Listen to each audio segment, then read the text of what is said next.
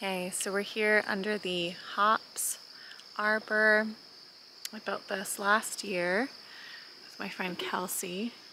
And it is covered. You can see it's just covered in hops. There's some little baby ones here, but um, we have really big, big resinous ones. You can see here, I don't know if you can see that.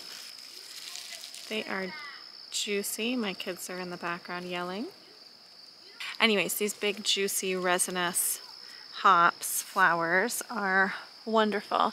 Um, we've got a ton of them from the garden here, a whole bunch. And um, I still have a whole bunch of picking to do, but these are great. These are going in my deep sleep blend. They have all this kind of pollen inside, really yellow pollen. They are beautiful.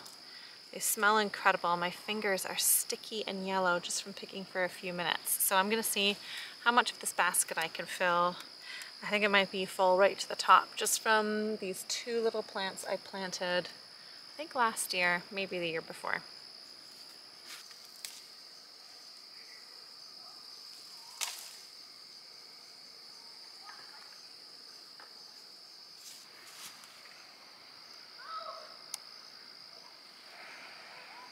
Hmm.